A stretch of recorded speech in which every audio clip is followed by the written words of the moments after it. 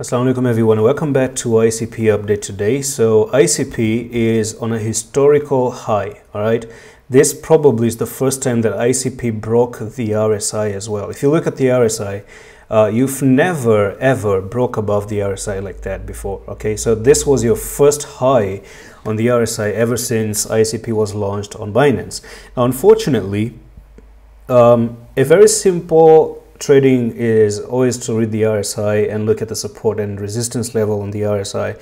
If I do show you this one, uh, ICP has already come into the department where you should be selling, okay? And no coin is always going to move up forever. This coin went from $2.8 all the way to $16. So again, it's a 400 500% move to the upside. So if this thing does actually decide to come down and the next level of support you're looking for ICP is probably down to 8.62 this is where you literally break that resistance and then you're pushed up.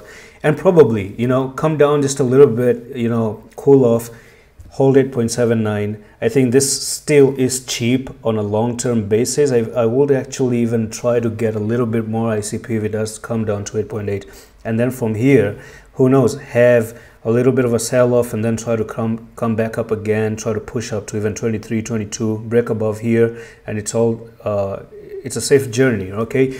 Thing is the market is trying to fall. Just I, I do see the market losing structure. ICP hasn't lost it just yet. Let's actually if I talk about ICP it hasn't lost it.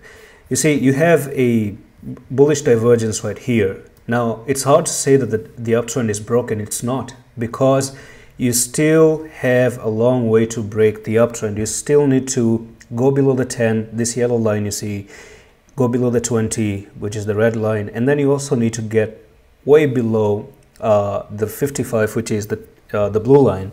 And then when you do get that bearish divergence then we may see probably even this thing falling back to four dollars six dollars.